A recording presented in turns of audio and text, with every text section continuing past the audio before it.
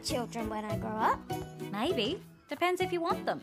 G'day, you cheeky dogs. Today we're going to be talking Bluey theory, specifically from the brand new Bluey episode Surprise, the finale for season 3. And we are, of course, going to be talking about that flash forward scene that we saw at the end, where not only do we see Bluey all grown up with grey hairs of her own, but we also saw Chili wearing glasses, Bandit returned the mullet again, which was obviously his favourite hairstyle. Oh, the house is looking good. Thanks. Can you believe Dad almost sold it? Are you ever gonna let that go? But of course, we got a brand new baby heeler mixed breed puppy. And I guess not so much a baby, but definitely around toddler age of about three or four. So we're going to be discussing who is that toddler's mum and dad. Hello? Huh. No one. That's weird. Oh no. Now, I think quite obviously the mum is Bluey because that's sort of the whole point of this episode surprise. Like, it starts off with her asking her mum if she's going to have children when she grows up. Will I have children when I grow up? Maybe. Depends if you want them. What is having children like? Oh, well. So the episode is very much setting this up for us. We also, of course, see the scene of her doing the same door gag with her father, and we see that exact same scene then with that new little mixed breed heeler at the front of the door. So of course, it basically it's just lining up that yeah, Bluey is obviously that little toddler's mum. Hello? Huh? Uh oh. Hello? Huh. No one. That's weird.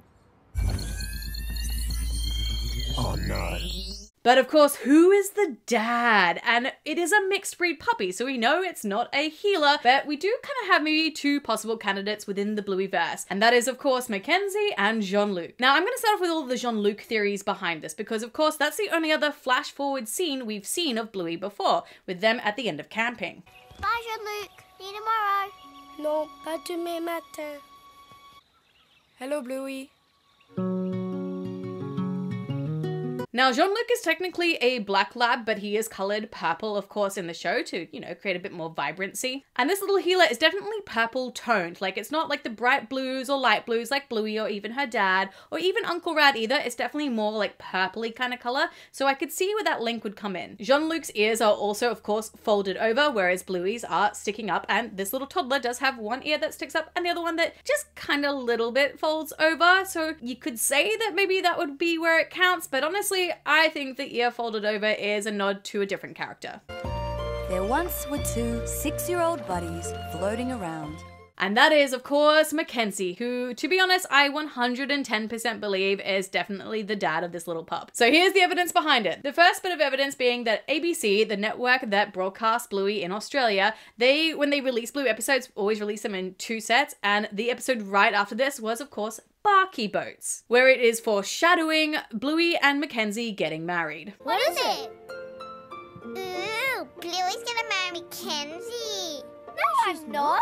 This whole episode, Barky Boats, of course, is about Bluey and Mackenzie and their paralleling storylines with Captain and Mia. And Captain and Mia obviously are like sorting through their feelings for each other and just general feelings, of course, about the future as well. Are you nervous about starting high school?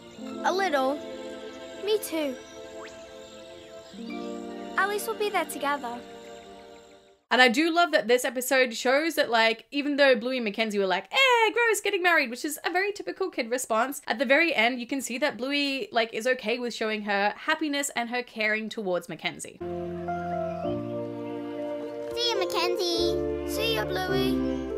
There is also, of course, the other episode, Fruit Bat, which is like one of my first, like, very popular videos. And that's because in the dream sequence, the only other person she dreams about, aside from her family, is Mackenzie. So perhaps a bit of like subliminal messaging happening there. Thanks as well to the episode Creek and Curry Quest, we know that Mackenzie does live close by to the Heelers, that they're all family friends as well. And the Creek was just a really lovely episode actually of seeing the two of them, where they obviously hang out all the time, like on the weekends and together. So again, like they're not just friends from school, like they're childhood friends as well. It's just like jumping from one sheep to another. We don't jump on sheep, Mackenzie.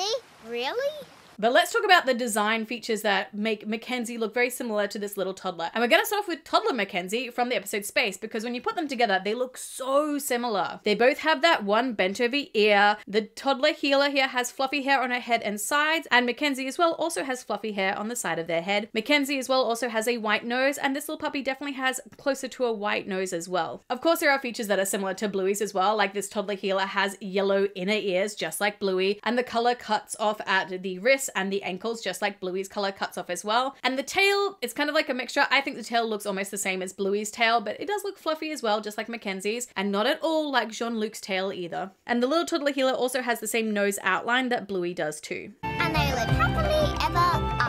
But cheeky dogs, let me know in that comment section down below who do you think is the father of this mixed breed toddler heeler? I yeah, I believe that it is Mackenzie. I think that this is a border heeler or a border collie blue heeler. I'm not quite sure what the proper name is for it, but even in real life, these mixed puppies are so so so cute. And again, it's just another way of them showing mixed breeds and some more like diversity within the show by showing that this is who Bluey ends up having as a child when she gets older. Now, I will of course be talking about all of the Easter eggs and the fantastic like future references that are in this episode. So if you want to see that video, don't forget to hit that like button, subscribe button, and that bell for notifications so you know when I bring that video out. It will be somewhere within this next week. I plan on kind of dedicating this next week all to the Easter egg video. So all the Easter eggs and Australian references from the Bluey episode The Sign, as well as all the references in this episode surprise as well. And I, of course, have more theories coming out too. But until then, I have picked you cheeky dogs out a few other videos that maybe you would like to watch, and I will see you all in another video.